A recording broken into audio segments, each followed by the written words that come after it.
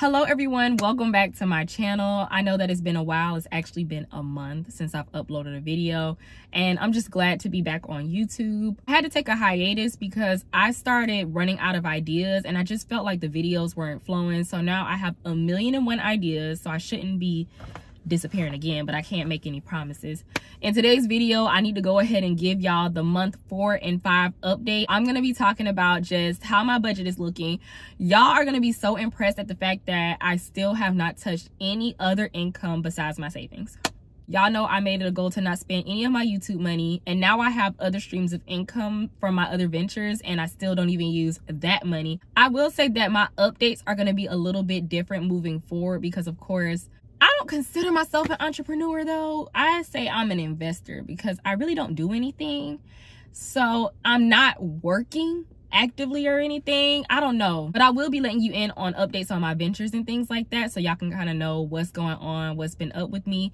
So before we get into it, let me know in the comments how have you all been? Anybody down with the flu? I'm just not getting over the flu, so I hope you all are doing okay. Just give me an update. How you feeling mentally, emotionally, financially? What's the latest? Also, make sure that you give this video a thumbs up and let's get started. Can y'all believe that we already have knocked down four months or like four and a half? So that's why I say I'm gonna go ahead and do the month five update because they don't look much different.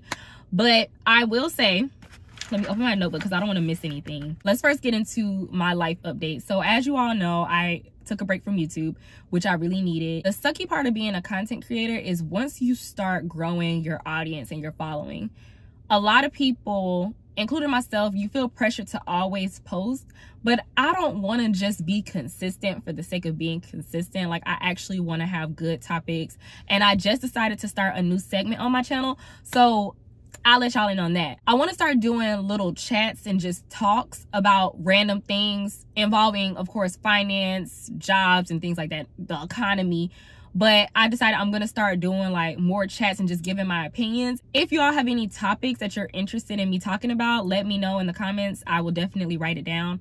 But yeah, that's what I kind of want to do just to change it up. I don't want to be like a financial guru. I want to be more like a I just want to talk sometimes. I don't always want to be like step one, step two, step three. You know what I mean?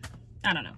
But anyway, that's that. If I were to give month four and month five a title, the title would be focusing on myself. I've been spending a lot of time with just me. Um, I haven't been going out a lot lately. I haven't been dating. I don't really even hang out with my friends as much. I just been really spending time with myself because what I realized, I've been reading that book, Breaking the Habit of Being Yourself.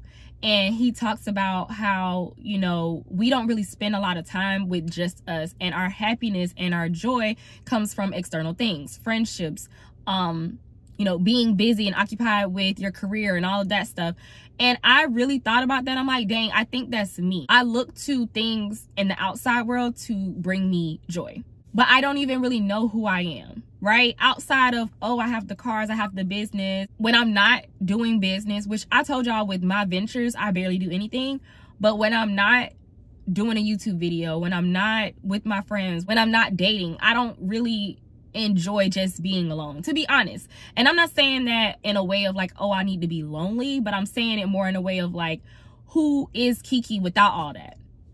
I don't know. Maybe i don't know if i'm making sense. I hope so. But yeah like i said i'm just trying to figure out who i am. I'm just trying to really figure out who i am without all the extra right? I will admit i feel that i've been low-key making my business and the things i have going on my personality again just being caught up in all the external you know what i mean? So i caught myself because i'm like kiki you know you're not even that girl. You don't even care about what people think about you. So why are you pushing yourself to show out? Anyway that's enough of that rant. Oh another thing is when it comes to my home situation. So if you are not familiar i was house hacking with my mom and my sister. My sister rented out a room. My mom rents out a room.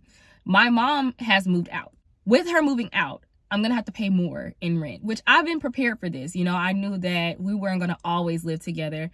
And so now I'm gonna have to pay more and I'm ready to get back to work so I can start getting my savings back in order, getting my money back in order, and get ready to pay more in bills. It's not going to be a drastic difference. It is going to be a difference, you know? When it comes to my budget, now I'm getting to the point where I'm on my last month worth of bills, right? Because keep in mind, I had my bills that I couldn't pay in advance saved up. So like my mortgage, my spending money, things like that, I had in an account. So now it's down to just December stuff in my account because I already paid November's bills.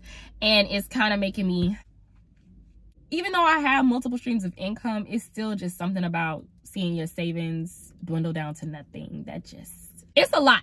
It's overwhelming. I really am proud of myself that I was able to make it five months without going broke and without dipping into my other investments. So I did really good.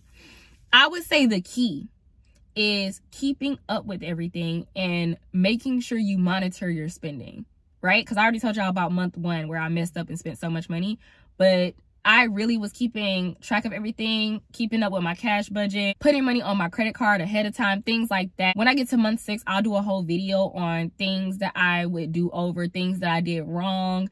Because there are some things that I did wrong, especially when it comes to like my retirement accounts and stuff we'll talk okay? When i do that when i do my six month sabbatical video i'll go ahead and do like a q&a so if you have any questions you can let me know. If i don't know the answer i'll find out.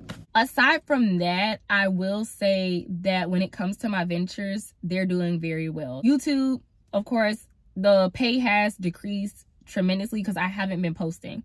So that's why i say that youtube is not necessarily passive. It's really not. It's more active. If you're not active, you're not going to get paid or you won't get paid as much. Yeah, so YouTube still doing its thing. Then I have my other venture where I'm currently playing the bank and I have people financing two cars that I have. So the one that my sister traded in, which is the 2002 Honda CRV, I get 200 a month from that. So I just been saving that money up for next year. That's going to pay my car insurance, I decided. Wait, I wrote it down. With the car financing biz, yeah, I'm going to go ahead and save that money. So it's $200 a month for the Honda CRV, $200 for the 2016 Honda Civic. So that's $400 a month that I'm just saving up. And eventually my sister is going to raise the amount so she could pay the car off sooner. But um, with that money, I am going to use that to pay up my car insurance for the next period. And then I'll just keep saving for the next six months. Like that will be what that money is used for. With the YouTube money that I saved up, that money is going to be used for all of my expenses when it comes to my home next year. So all the bills that I have to pay, me and my sister are going to be splitting it 50-50. I'll be using my YouTube money that I saved up for that. I will also be using the money that I make on YouTube because again, I'm not going to be aggressively saving like I used to. I'm actually going to spend my YouTube money next year. So I'll be using that for spending money, things of that nature. On top of that, I plan on getting, of course, the part-time job. I will also be using that money to spend and travel and stuff like that too. Now, Venture 2, I know it sounds like I'm gatekeeping. It's just that I'm new to this and I don't really know what I'm doing. The car thing has been doing very well. So this car that I'm in right now, the Kia, is going out for 30 days today. So it's just like the money keeps coming and it doesn't stop. Shockingly though, I'm gonna have to do a video introducing all of my cars so that y'all can see and y'all gonna be shocked at which one makes the most money because I'm shocked and I plan on buying another one. But we're gonna talk about that in another video.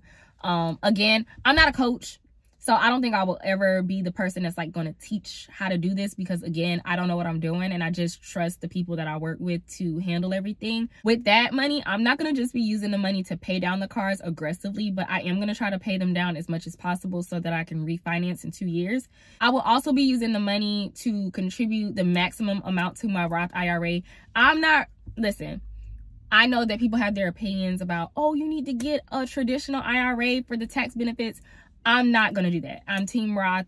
That's it. I don't want anything else but Roth. That is my investing strategy and then also my home. I'm not I'm not getting a traditional. I'm sorry. Sorry, my camera dropped, but I never want to go back to work full time ever again in this lifetime. And I won't have to looks like. These 5 months off really did something to me. I'm never going back full time. So I will be working part time, but not full time. I will say with taking a sabbatical, I have been feeling this sense of, I feel like I'm obligated to say yes to everything because I don't work. And I'm working on that. So I really wanted to bring that up because I don't think I haven't seen anyone talk about this. When you're unemployed, it's not even people feeling that way. It's you feeling like I should attend everything that I can because there's no excuse. I don't work. You feel like you should always show up for people, but it is okay to say no. And I'm learning that now because month three to month four, I was busy doing every single thing, attending every single thing, and it's exhausting. My goals for month six are to stay consistent on YouTube. Definitely want to do that. I do want to start finishing my books. Like I'm still in the middle of the book that I'm reading now, and I have not finished it. It's been like three months. So that's another thing I want to do. I want to do more vacations and staycations, like just get away from the house for a while. I really need a change of scenery. Also, for month six, I will start job hunting to just see what's out there. I do want to work at the mall. I told y'all that before, or a hotel. So I am going to just start kind of filling it out and seeing how much people are paying. It's been a long time since I have been job hunting. I had the same job for five years and then I've been unemployed for six months. So I don't know what the job market looks like. I've been thinking about learning more about taxes. Now that I'm in business, I want to learn more about just bookkeeping, taxes, accounting and stuff like that. So I am thinking about taking a course or going to school or something. I don't know. I can literally do whatever I want to do, which is great. I think that's all I have to say. This video is probably long enough. So I hope you all enjoyed. If you did, please be sure to give it a thumbs up. Also, make sure that you follow me on TikTok. I am going to start doing videos like day in the life of a kind of sort of entrepreneur who doesn't do anything. Um, but I'm going to make sure it's interesting. So make sure that you all follow me on TikTok. I will see you all in the next video.